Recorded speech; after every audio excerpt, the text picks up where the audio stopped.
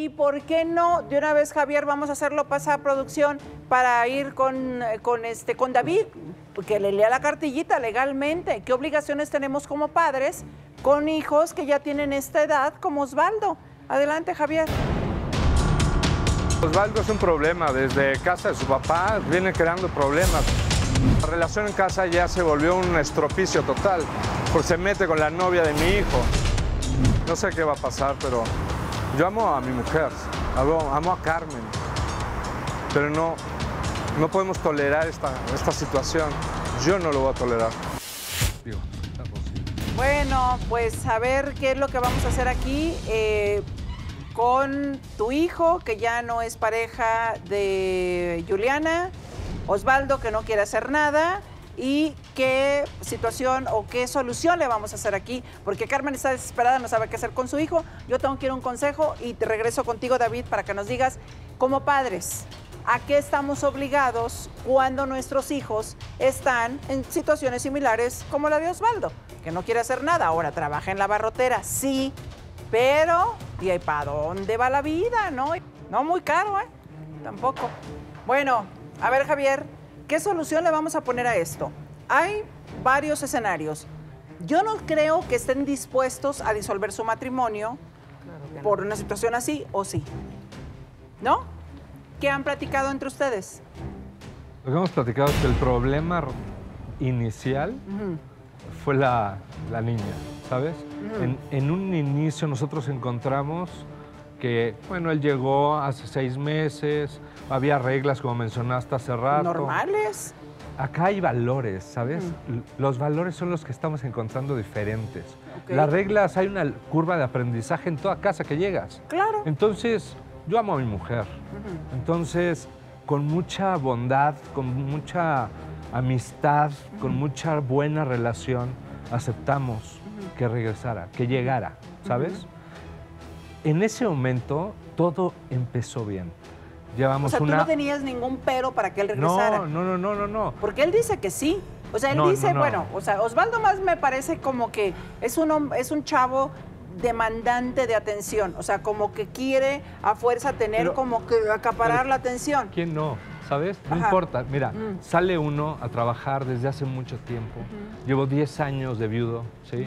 Hace cuatro años la conozco. Tengo la bendición de conocer un segundo amor de vida, ¿sí? Empezamos, llevamos dos años de casados, ¿sí? Y entonces yo tengo un hijo, tengo dos más ya casados. Ah, ¿Sí? Entonces, entiendo lo que él pueda tener y mis- mi error de no llevarlo a un terapeuta, de la falta de atención. No le diste entiendo. cariño. La Estuviste falta de en la casa cariño. todo el tiempo. Es- está bien, ok, lo deberé de atender. Pero salieron los tres adelante. Es un niño responsable, está en la universidad, sí. no me deja mal la, la casa, está bien Pero hay atendido. focos rojos, ¿eh? Hay focos rojos que hay que atender y, y yo creo que después de estos seis meses, lo más importante para mí fue la sorpresa que me di. Porque yo me salgo, regreso, llega el fin de semana, convivimos, pero, pero seis meses después me comienzo a encontrar con este caos. Es un caos, parece que está todo mal, ¿sí? No le Pues quiero es que echar la está culpa. todo mal. Está todo mal. Entonces yo no le quiero echar la culpa a Osvaldo nada más, o a la niña nada más, o a la falta de autoestima de mi hijo, ¿sabes? Pues sí. Esa es tu Entonces, culpa. o puede ser mi culpa o no, pero el tema es aquí. ¿Qué es su ¿Cómo culpa, resolverlo? Ricardo? Perdón. Mi falta de autoestima. Yo siempre le No, quise. es que a ver, Ricardo, no, por favor, no me decepciones. Hasta ahorita te has mostrado como un chavo inteligente, maduro, responsable, etcétera. ¿Y tú cómo? ¿Mi, ¿Mi autoestima va a ser responsabilidad de otros? No, Ricardo, es tu responsabilidad. Ahora, yo no he hablado de a propósito de un evento en la vida de Ricardo. Lo he hecho a propósito para no recordarlo, para no traerlo al pero lo voy a tener que hacer. Porque ese foco rojo del cual yo hablaba fue ya un intento de suicidio por parte de Ricardo.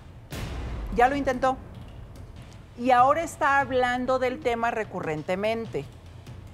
Por eso yo te pregunté, como que por qué, qué va a valer la pena en la vida como para que tú te la quites. Dejes de respirar, dejes de estar aquí. Cuando tienes tantas cosas por vivir, por hacer, por ver tu proyecto de vida. Me parece que eso es un chavo que tienes una edad preciosa. Como que, ¿por qué te vas a quitar la vida? ¿Cuál puede ser el motivo, la razón? Perdóname, por una persona, no. Mira, Es que Rocío, siempre me he Nada. sentido solo. No, la Irene. orfandad, Rocío. la orfandad evidentemente pega y sobre todo a edad tan corta. Veo bien que Javier se da cuenta, sí, de su falta de cercanía emocional con su hijo, lo que sucede mucho entre varones. Tristemente en esta sociedad machista se le enseña a los hombres a no sentir, a no demostrar emociones Pues y ellos a su vez le dicen a sus hijos no sientas porque no saben cómo manejar esta situación. No creo que sea falta de amor, sino no saber cómo expresar las emociones. Pero evidentemente tú cargas con una depresión de hace mucho tiempo y la depresión en los jóvenes es un tema muy grave porque en muchas ocasiones termina en el suicidio. Y esto es algo que hay que atender. Hoy la psiquiatría ha cambiado completamente, no solamente es la prescripción de un antidepresivo, sino incluso se utilizan ahora nuevas técnicas eh, alimenticias, de meditación, además de la psicoterapia, que es súper importante, porque estás, tienes hambre de amor, de un amor que no sentiste de mamá porque te dejó a los cuatro años y un amor que tu papá no supo cómo compensar, aunque lo tenía, estoy cierta. Y entonces depositas en Juliana esta idea de encontré por fin el amor, pero Juliana no sabe ni quererse a sí misma, no sabe qué es el amor, no entiende qué es el amor. Y tú tampoco, porque tú lo concibes en otra persona. Sí. Entonces es muy importante el día de hoy que más que Juliana pienses en ti. ¿Cómo vas a salir de este agujero negro en el que está tu corazón?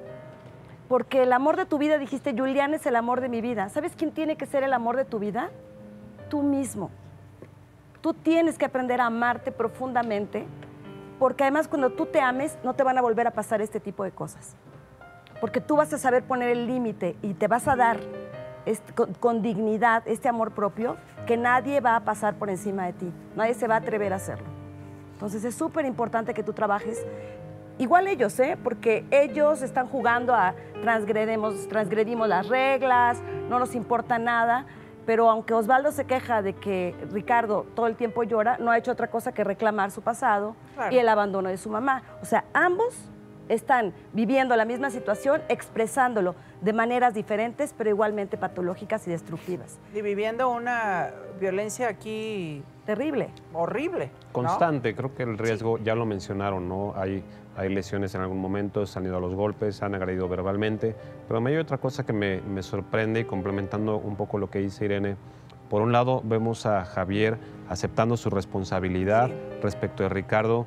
Por otro lado, vemos que, que- que Ricardo también tiene este modelo ejemplar del joven responsable, estudiando, buscando un motivo de vida y un motor, luchando incluso contra sus problemas emocionales, lo cual es muy admirable pero por otro lado vemos a un Osvaldo que no le interesa mucho el futuro, que no piensa mucho en lo que va a ser de él, que mucho menos piensa en lo que podría construir o no, con, en este caso con la, la tercera persona que vino a, a romper lo que, lo que tenía con Ricardo.